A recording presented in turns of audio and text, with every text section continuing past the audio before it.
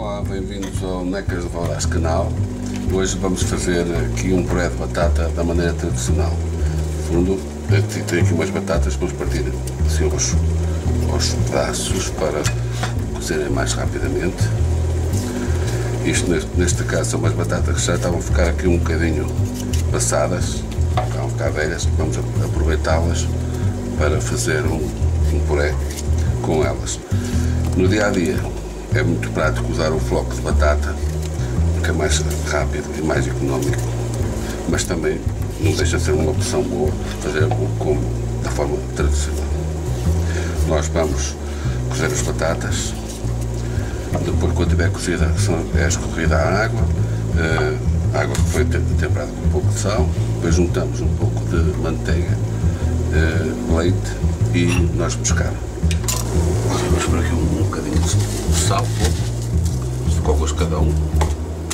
Não esquecer que a manteiga também tem sal, não é?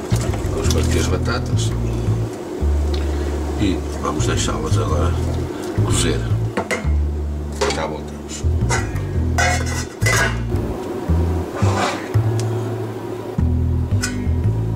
Agora aqui temos as nossas batatas, estão eh, bem cozidas. Vamos escorrê-las.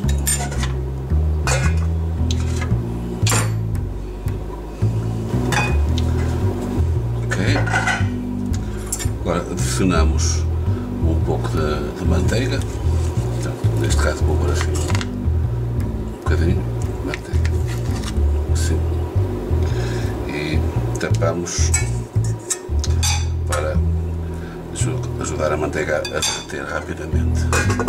Portanto, isto por baixo tem um pousa-tacho em cortiça para que o tacho não arrefeça mais. Nós agora vamos temperar aqui a, nossa batata com noz de moscada. Corta-se assim, não sei se estão a ver, lá.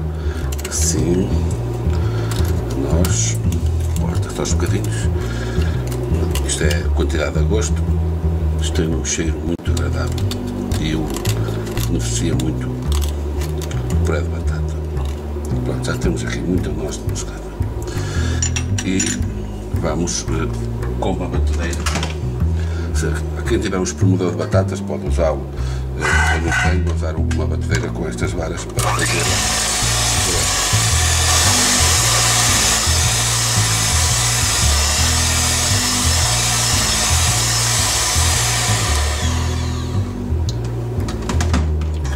Vamos verificar como é que está parece que está quase, ainda há aqui uns bocadinhos de batata inteiros e o garfo também ajuda agora a retirar isto. Isto convém ser cuidadoso nesta fase, que é para depois não estarmos a comer o puré e estar a aparecer bocadinhos de batata inteiros. Não, não fica bem. Pronto, já está aqui o puré quase pronto. A batata tem que, deve estar bem cozida, porque senão esta tarefa fica mal feita de certeza.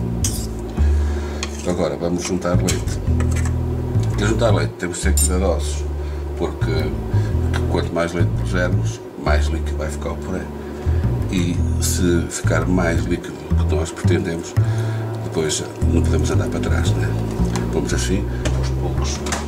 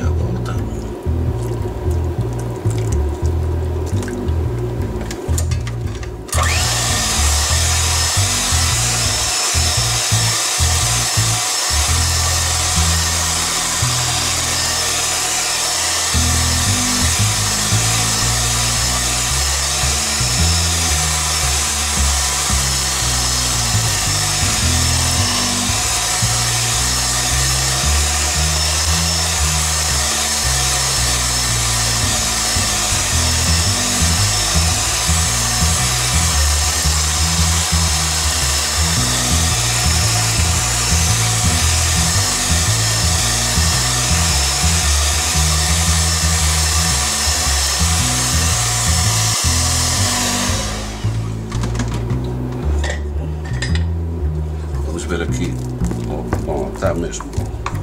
Sim, senhor. Aqui ao tato com a, a espátula já se vê que, que está conforme eu pretendo.